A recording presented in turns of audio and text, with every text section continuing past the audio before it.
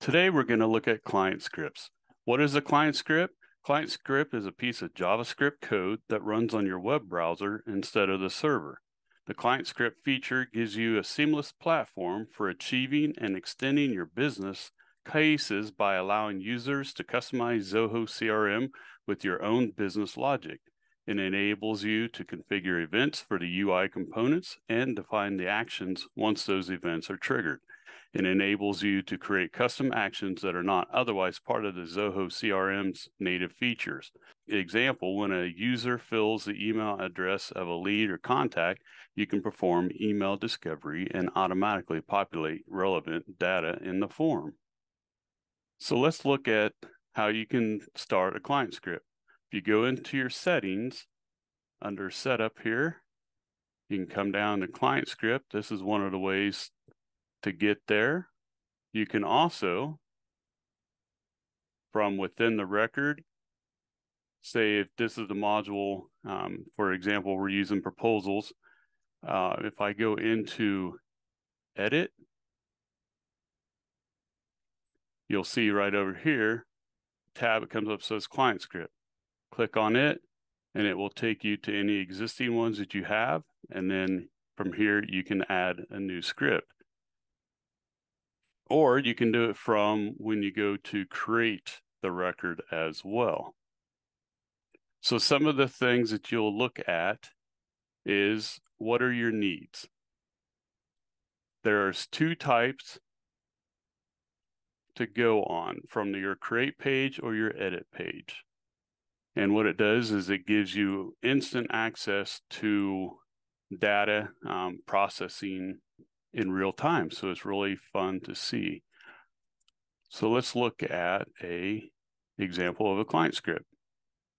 In this example, we were wanting to see on the proposal module that if they select a certain field, then we go ahead and set some others to be um, mandatory. And we also set their value.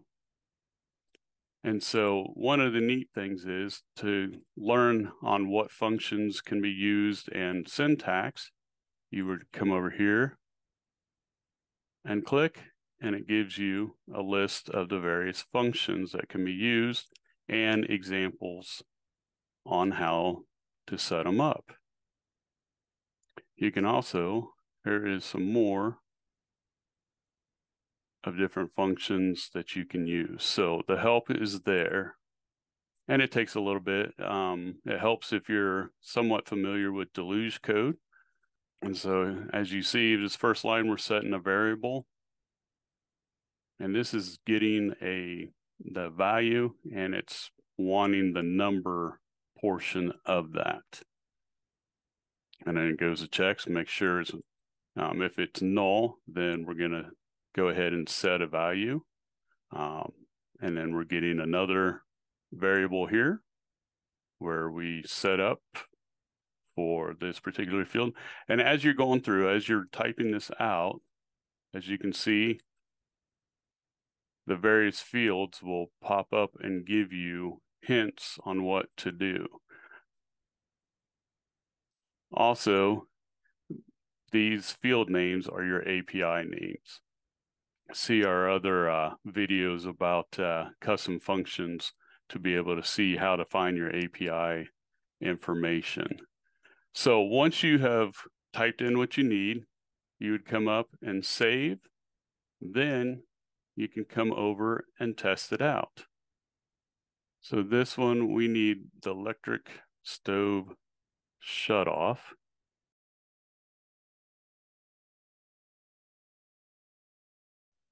So here's the automatic electric stove shut off we was looking for. So if we enter a value into it, and then when we click out, it should automatically make this Wi-Fi router mandatory and give us a quantity of one. So you can see that it works.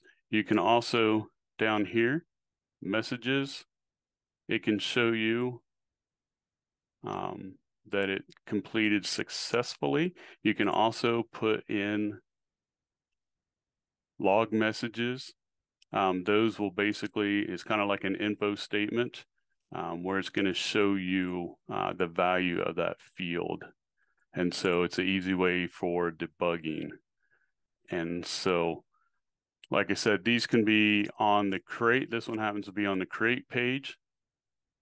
You can also have it on edit as well. But client scripts are um, fun and easy to uh, to create, and they help with the, the user interface.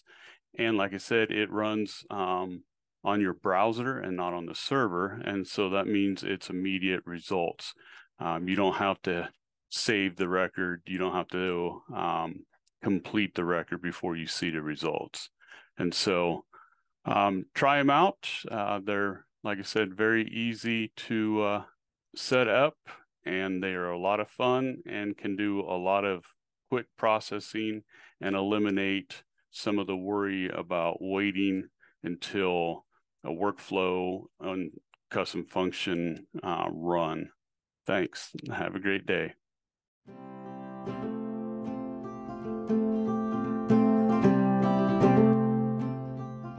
If you found this video helpful, be sure to like it and leave us a comment.